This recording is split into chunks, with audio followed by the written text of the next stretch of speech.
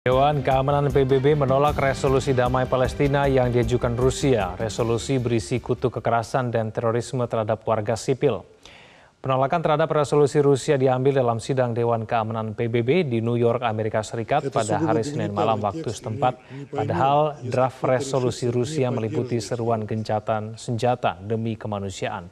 Namun resolusi tersebut tidak menyebutkan Hamas yang melakukan serangan kejutan yang menewaskan 1.300 warga Israel. Dalam voting, lima negara menyetujui termasuk Rusia tentunya, empat negara menolak termasuk Amerika Serikat sedangkan enam lainnya abstain. Hasil tersebut tak memenuhi syarat minimum 9 suara dari 15 anggota. Draft berikutnya disodorkan Brazil yang berisi antara lain jeda perang untuk memberi kesempatan bantuan kemanusiaan untuk para korban, serta tegas menolak dan mengutuk serangan teroris keji yang dilakukan Hamas. Voting akan digelar pada hari ini. Thank you, Mr. President. Just over a week, we have called on countries in the region to allow and facilitate full, safe, and unhindered Pendudukan Israel di tanah Palestina menjadi akar permasalahan konflik Israel-Palestina. Dunia berupaya menjembatani upaya damai kedua negara, namun terbentur pada perang yang kerap meletus, seperti penyerangan Israel ke Gaza dan pengakuan sepihak Yerusalem ibu kota Israel. Berikut jalan panjang damai Palestina-Israel.